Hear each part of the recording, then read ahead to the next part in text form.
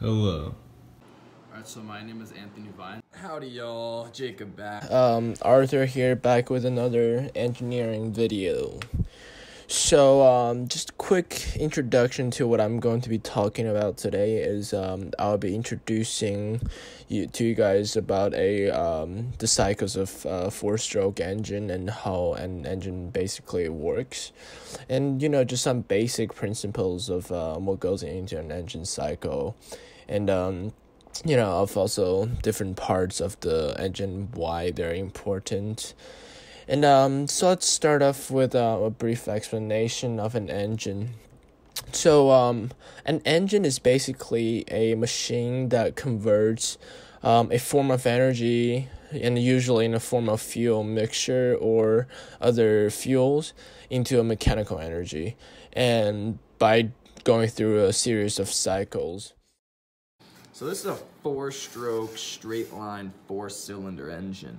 Uh, as you can see, there's four pistons connected to the crankshaft. The reason it's called a four stroke engine is because it actually goes through four uh, cycles. And um and each cycles has its own um purpose of um of use. So the first stroke is the intake stroke, and this is when the fuel air mixture is um, put into the cylinder as the piston is on its way down. And then the next stroke would be the combustion stroke.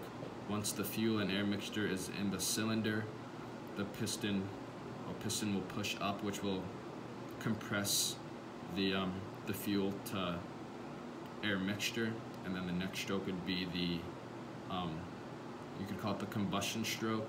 And this is when the spark plug goes off and the fuel air mixture um, explodes and this will create um, gases and that's what the exhaust stroke is for. This is when those gases can be released. Through going through and repeating these four strokes um, um, multiple times per second and um, this basically allows the engine to you know convert the fuel mixture into mechanical energy so um, just i'm just going to quickly go through uh, different parts of the um, engine Um, the pistons are on the crankshaft, which is connected to the timing belt up here, which is connected to the camshaft in here. It's hard to see, but it's underneath the rocker arms that are up here. The camshaft um, has cams set at different angles um, to make the timing for the rocker arms correct so that the valves open at the right time. and here interestingly we actually have an engine that i built with um, a kit that um, mr Magni has provided us with.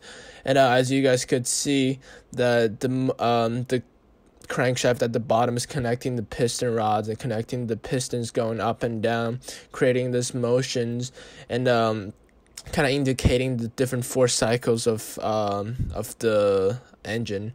And as you could see um the sparking lights are indicating the spark plugs. And and it is very important that the timing of this um the uh the timing is correct for an engine because if the spark plug goes off at the wrong cycle at the wrong time at the wrong, um during the cycle it will create a huge problem for the engine and sometimes breaks down the engine. Well there you go. The cycles of an engine and how an engine basically works and different parts of the engine Thank you so much, and please come back for more videos in the future. Thank you.